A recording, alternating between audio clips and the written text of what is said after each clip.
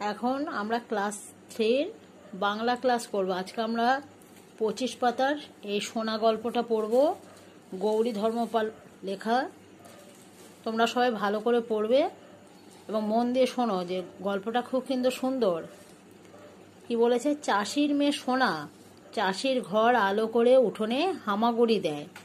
একটুখানি জায়গা মায়ের বাপে বেড়া দিয়েছে যাতে বাইরে বেরিয়ে না যায়। হামাগুড়ি বলতে ছোটবেলায় সকলে, হামাগুড়ি কথার মানে হলো হাঁটু ও হাত দিয়ে চলা, দেখবে? হাত দুটো ফেলে আর হাঁটু দিয়ে এগিয়ে চলে।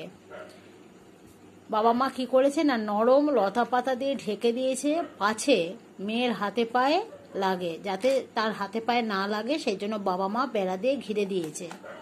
সোনা একটু বড় হয়েছে, মা ভাবে সোনার হাতে দুখানি কাকন দিলে বড্ড মানাতো। তা কোথায় পাবে বলো? সোনার যা দাম, তাছাড়া চুরির ভয় আছে না?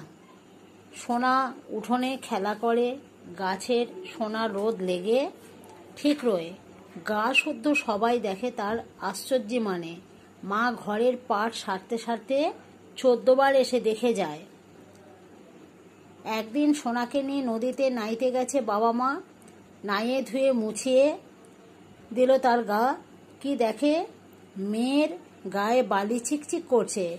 কত মুছলে, কত ঝালে, সে বালি আর কিছুতেই সে আর ধুয়ে যাচ্ছে না। তখন ভালো করে নিরীক্ষণ করে চাষি বলল, ও বউ, এ তো বালি নয়, এ যে দেখছি সোনা। তুই মেয়ের হাতে কাকন দিতে চাইছিলি? তা নদীমা তোর মেয়ের সারা গায়ে গয়না পরিয়ে দিয়েছে। কাকন বলতে এখানে চুরি বোঝাচ্ছে। মানে সোনার অলঙ্কার তার নদীমা তোর মেয়ের গায়ে সারা গায়ে সোনা পরিয়ে দিয়েছে। হ্যাঁ তাই নাকি? সে প্রশ্ন করল।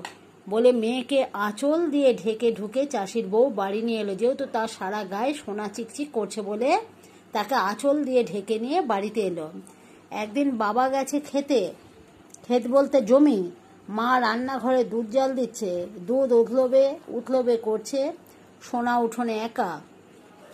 এক চোর এতদিন ধরে তককে তককে ছিল তককে তককে মানে আমরা বলি না ওকে ধরবে বলে সে মানে সময় সুযোগ সন্ধানী ছিল। কখন তাকে ধরে নিয়ে যাবে? তককে তককে বলতে সময়ের অপেক্ষায় ছিল। তাকে ধরে নিয়ে যাবে? তককে তককে বলতে সময়ের অপেক্ষায় ছিল। এসে সোনাকে তুলে নিয়ে চম্পট দিল মানে পালালো। মা দুধ খাবার জন্য ডাকতে এসে দেখে মেয়ে নেই। কখন কি হয় ভেবে চাষি একটা ঘণ্টা বেঁধে দিয়েছিল ঘরের মধ্যে। সেইটি ধরে মা পাগলের মতো বাজাতে লাগল, ঢং ঢং ঢং ঢং করতে করতে। সারা গা ছুটে এলো। তারপর হাতের কাছে যে যা পেল, নিয়ে ছুটল চোর ধরতে। বন্ধ করো।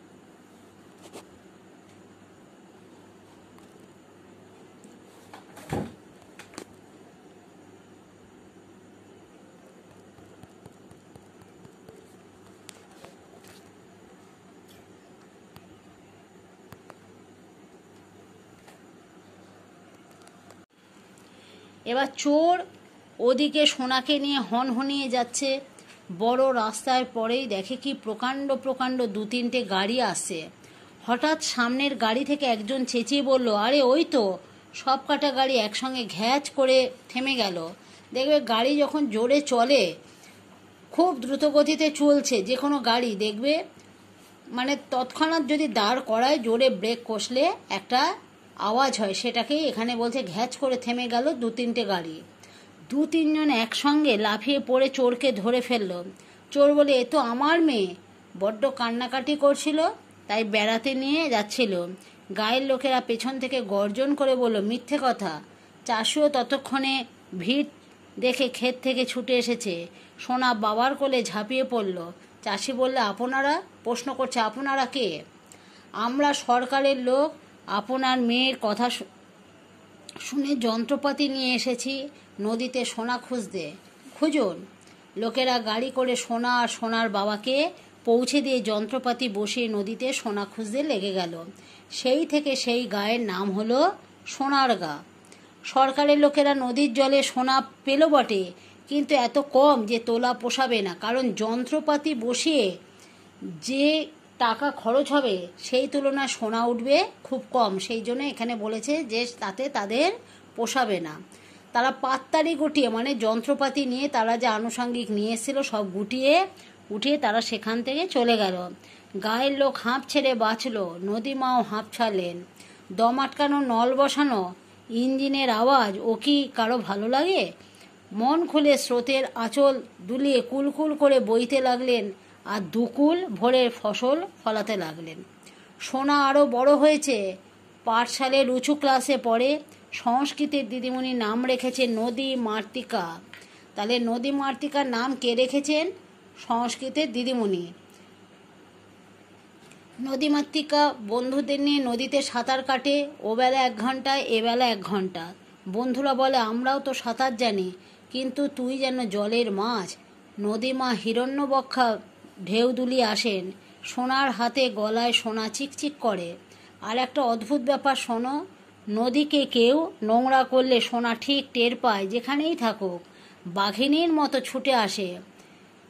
সোনা হচ্ছে একটা বাচ্চা মেয়ে, ওই জন্য বাঘ বলেনি, তাকে বাঘিনী বলেছে। এটা তোমরা সকলেই পড়ার সময় খেয়াল করবে।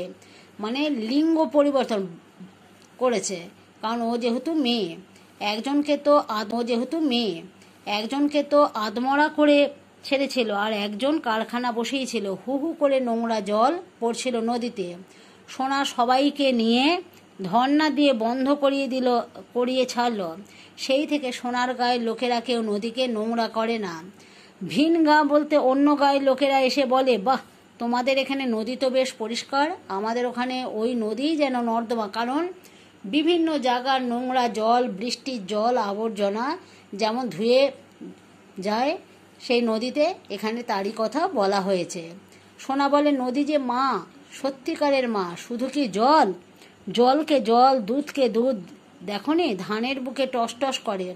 মানে মাকে যেমন আমরা সত্যিকারে ভালোবাসি, মায়ের যেমন তুলনা হয় না, সেই কারণে নদীকেও তারা সে মায়ের সাথে তুলনা করেছে। মা যেমন আমাদের প্রিয় ভালোবাসার জিনিস, এখানে নদীকেও তারা বলেছে, নদীকে তারা নোংরা করতে দেবে না, নদীতে নোংরা জল ফেলতে দেবে না। মায়ের দুধ খাও আর মায়ের গায়ে কাদা ছোড়ো, তোমরা কি মানুষ না পিসাজ বলছে, আমরা মা নদীকে আমরা মায়ের সাথে তুলনা করছি। মাকে যেমন আমরা স্নেহ, মায়া, মমতা, শ্রদ্ধা ভক্তি করি, নদীকেও আমরা করছি। আবার সেই নদীর জলেই নোংরা যাবে? এটা কি কখনো হয়? এখানে এটাই বোঝাতে চেয়েছে। তাহলে গল্পটা তোমরা নিজেরা ভালো করে পড়বে। আজকে আমি গল্পটা পড়িয়ে দিলাম। এর পরদিন তোমাদের অর্থ বিভিন্ন প্রশ্ন করাবো। তোমরা গল্পটা পড়লে নিজেরাই প্রশ্নের উত্তর, প্রথম দিকেরগুলো সঠিক উত্তর, শূন্যস্থান, তারপর তোমাদের অপশান দেওয়া আছে, ওখান থেকে বেছে নিয়ে টিক চিহ্ন, এগুলো তোমরা নিজেরাই পারবে। আজকে তোমাদের এই পর্যন্তই, পড়া রইল।